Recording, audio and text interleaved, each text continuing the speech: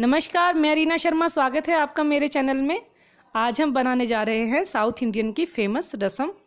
उसे हम रसम टी भी बोल सकते हैं। और ये इसमें इतने अच्छे मसाले डलेंगे कि हम, उससे हमारा इम्यूनिटी सिस्टम बहुत स्ट्रॉन्ग होगा।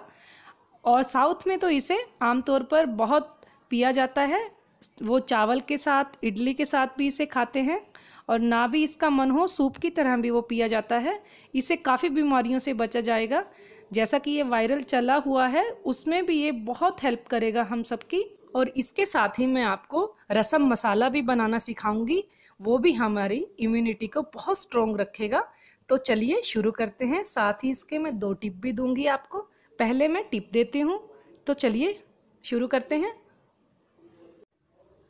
कई बार हमारी पूरी या रोटी चिपकने लग जाती है बेलन से, अच्छे से वो बिलती नहीं है।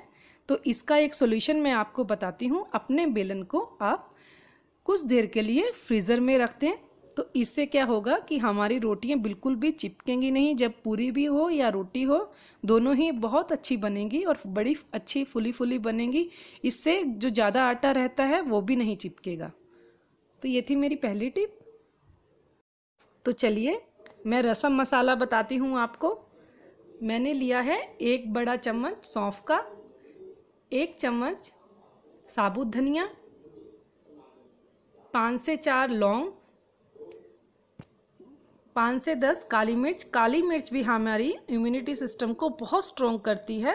एक इलायची हरी, साबुत लाल मिर्च है। ये है चने की दाल। दो बड़े चम्मच चने की दाल है, दो बड़े चम्मच उड़द की दाल है, ये तुअर की दाल है, हरहर की दाल, ये भी दो बड़े चम्मच हैं। अदरक लिया है, अदरक की जगह आप सौंठ भी ले सकते हैं, गार्लिक है। ये मैंने पीसी हुई फॉर्म में दालचीनी ली है। एक चम्मच जीरा है, एक टमाटर की प्यूरी ली है मैंने, इमली भिगी हुई, भिगो के अच्छी तरह से रखा हुआ है इसे मैंने। एक बारीक कटा टमाटर है, ये ऑप्शनल है, आपका दिल करे डाल सकते हैं कड़ी पत्ता। अब हम अपने सभी मसालों को अच्छे से रोस्ट करेंगे। इनको इतना भून लेंगे कि अच्छी सी खुशबू आने लगे, जलाना नहीं है हमें इसे। अच्छे से भून लेंगे इसे हम। धीमी आँच पर जब इसकी अच्छे सी खुशबू आने लगे और थोड़ा सा कलर चेंज हो जाए तो हमारे मसाले अच्छे से भून जाएँगे। सभी मसालों को डाल देंगे साथ में।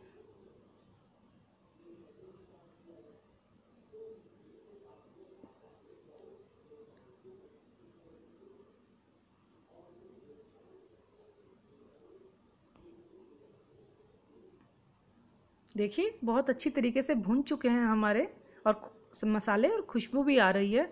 अब हम इसमें गार्लिक और अदरक की मैंने छोटे छोटे पीसेस में काट लिया है इसे।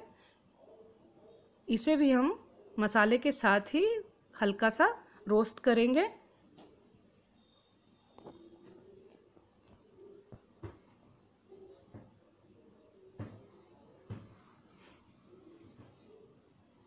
थोड़ी सी हींग डाल देंगे।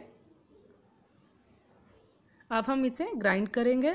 देखिए, बढ़िया मसाला तैयार हो गया है हमारा रसम का। आप ज़्यादा क्वांटिटी में भी इसे बनाकर रख सकते हैं स्टोर करके रख सकते हैं। ये काफ़ी दिनों तक आपका मसाला तैयार हो जाएगा। अब हम इसे एक पैन में लेंगे और खूब अच्छा सा पानी डाल देंगे इसमें। ये हमें टी के जैसे पीना है तो इसलिए इसमें अच्छा पानी डलेगा। साथ ही टमाटर डाल देंगे।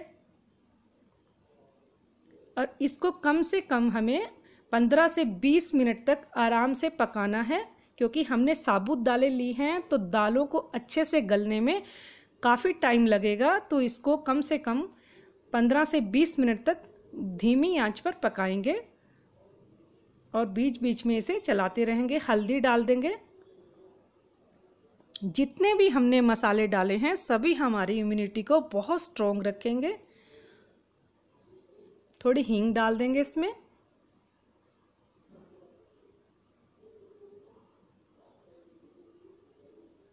और इसे हम चलाते रहेंगे। नमक डाल देंगे। अब हम इसे ढक के पंद्रह से बीस मिनट तक आराम से पकने देंगे। बिल्कुल धीमी आँच पर। गुड़ पंद्रह से बीस मिनट हो चुके हैं मेरी रसम को पकते हुए। अब मैं इसमें गुड़ डाल दूँगी।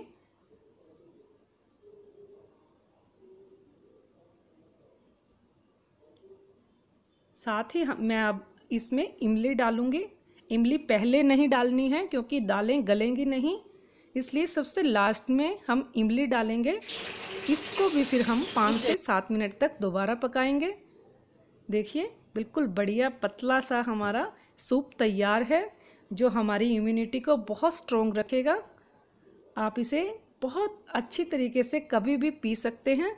अब हम इसका एक थोड़ा सा छोंक तैयार करेंगे।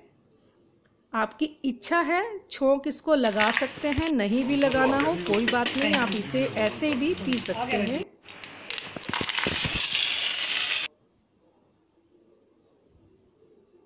बढ़िया, रसम हमारी बिल्कुल तैयार है अब पीने के लिए। आप इसे टी की तरह भी पी सकते हैं, सूप की तरह भी पी सकते हैं, इडली के साथ भी इसे खा सकते हैं। देखिए चावल के साथ भी इसे खा सकते हैं, साउथ में इसे ऐसे ही खाया जाता है। तो अगर आपको मेरी ये रेसिपी पसंद आई हो तो प्लीज़ इसे लाइक, शेयर और कमेंट करना ना भूलें। अब मैं देती हूँ दूसरी टिप। वीडियो में मैंने आपको कोकोनट मिल्क बनाना सिखाया था। कोकोनट मिल्क बनाने के बाद जो ये बुरादा बच जाता है, हम इसको फेंकेंगे नहीं। इसके भी हम एक बढ़िया सी चटनी तैयार करेंगे। इसमें हम हरी मिर्च डाल के दही डाल देंगे और ये पिसा हुआ रोस्टेड किया हुआ चना है, इसको भी डाल देंगे। इसको मैंने पीस रखा है और ये डाल के हम ग्राइंड करेंगे। इससे हमारी एक बढ़िया सी चटनी तैयार हो जाएगी। हम इसमें नमक नहीं डालेंगे, नमक हम बाद में डालेंगे क्योंकि नमक डालने से बहुत खट्टापन आ जाता है। जब भी हम खाएँ, तब हम नमक डालें। तो ये थी मेरी दूसरी टिप। अगर आपको मेरी ये टिप अच्छी लगती हैं तो प्लीज़ कमेंट बॉक्स में ज़रूर बताएँ। तो मिलते हैं अगली न्यू रेसिपी के साथ। तो स्वस्थ रहें मस्त रहें।